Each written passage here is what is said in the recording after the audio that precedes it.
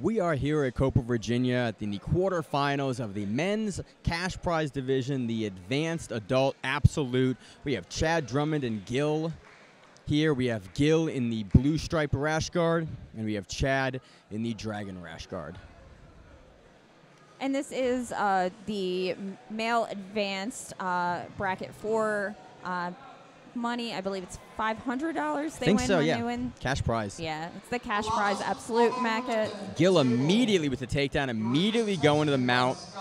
Gets four points for the mount, two points for the pat for the takedown there. Looks like he's looking for a head and arm. Very, very heavy pressure here on Chad. Crushing down, going feet on the hips. Yeah, and Gil is slowly moving up, um, but he is doing a good job hand fighting and trying to get that hand away from the face, that so that he can go for like a scarf hold maybe to take the back. Yeah, I think he's looking for that back take. Potentially going to take the arm from this tech mount, but I think he's looking for the gift wrap for that back take. Going to probably. Oh, Chad does a great job getting back to guard just momentarily, and Gil's able to actually get around. I need the following competitor, Charlie McCloskey from Rice Side Gil is uh, then trying to get that arm, trying to work that hand in. Nice heavy pressure, and Chad's putting uh, doing a good job keeping his hand in front of the shoulder there. Gil's, you know, going for the scarf hold, kind of leaning back and forth, trying to get that under that elbow of the same side. He was trying to utilize both his knee, his legs, and his hands in order to try to do that. Yeah, using Um, most of his body there to try to get around. Really nice, heavy knee ride here. Gil's doing a great job of kind of rolling on top of Chad's regard attempts and kind of attempts to get out, using great pressure through his knees and really, really good balance. You know, for these absolute divisions, a lot of times the heavier guys, you don't see them, they're not able to float on the smaller guys that well. And so it's really nice to see a guy like uh, Gil in this division able to do that. And Chad is using his uh, frames and trying to stay framed out against him, um, and trying to get escape his hips out. beautiful kind of Gil tried to step over to mount, realized that Chad's leg was in the way, and then immediately cut back over to the half guard. Gil playing very, very dynamic from these dominant positions. You know, trying to open something up, it's not working. He moves to the next position. Potentially going to see him go for either the back or the mount here with that front side leg kind of stapling both of Chad's legs. Uh, he does have an option for both. Miranda, where do you think he's going to go here? I think he's going to the back, but he passes again. He gets that arm on the far side, and looks like he's trying to utilize maybe a knee to try to separate that out. Um, because Chad is doing a great job at keeping his hands around his head and not getting choked. Um, he keeps on trying to get under him and get his hips back out so he can reestablish a guard.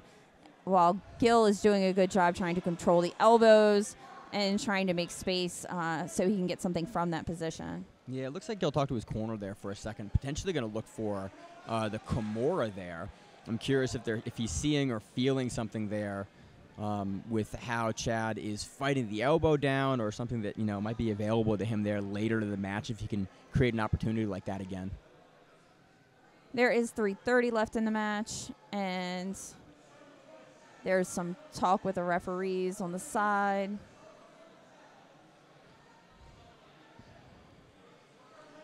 Chad reestablished on the guard here.